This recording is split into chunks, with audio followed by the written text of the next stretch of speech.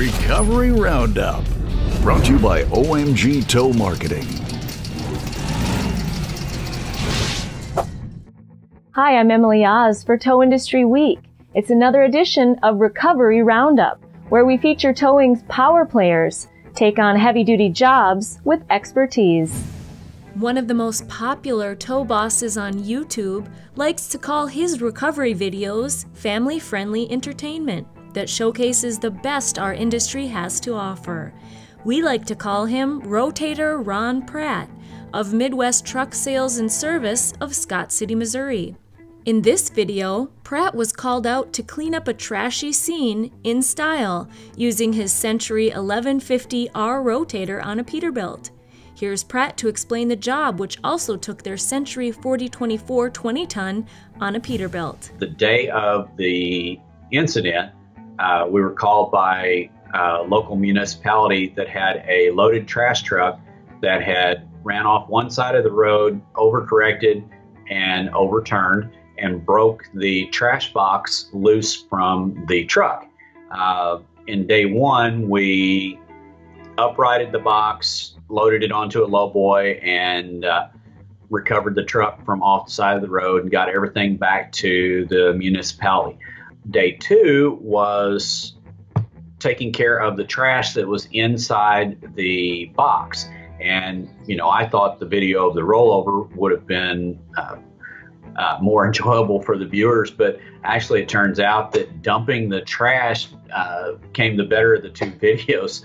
People enjoyed watching how we used the rotator to lift the box and uh, open open it up and dump the trash inside the transfer station. On the first day, uh, the box was actually uh, in the roadway. Uh, the police department shut down the narrow two lane road uh, in both directions, so we had the entire road to work with.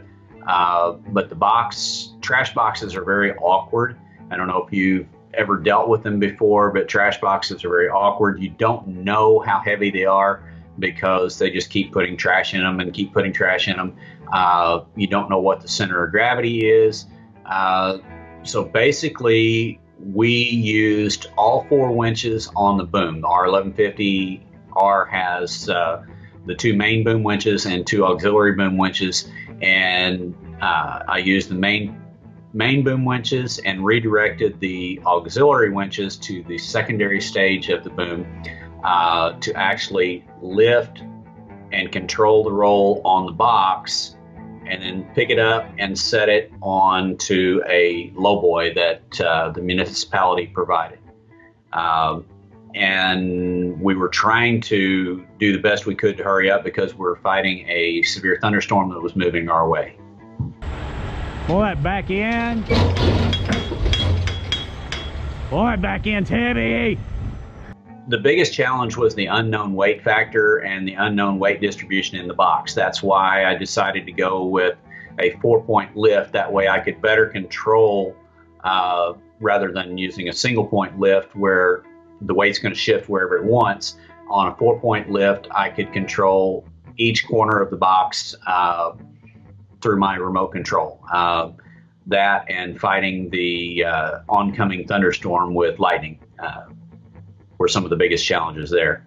Also, we didn't have a very good platform to work off of. The uh, uh, the asphalt road that we were working on was very thin, and it dropped off on both sides, uh, and it had been very wet and muddy, so we didn't have a very good solid platform to work from on a heavy lift, which is a dangerous thing. Day two of the job was spent taking out the trash rotator style. Basically, taking and getting the taking the trash out, getting the trash out of the uh, box because we didn't know how long it was going to be before the uh, uh, municipality's insurance was able to get there and uh, take a look at everything. Um, and it was the heat of summer, so the trash had to be gotten rid of before it really, really started to smell. We were working inside of a waste transfer station. Uh, I set up the 1150R on the recyclables side, just inside the door, and the lowboy backed in beside me. Uh, so I was working off the side and I used both main boom winches to lift the trash box off of the trailer and then open up the clamshells and dump the trailer. And I actually had to, as the trash was falling out, had to move the box around so that the trash had enough room to uh, come out.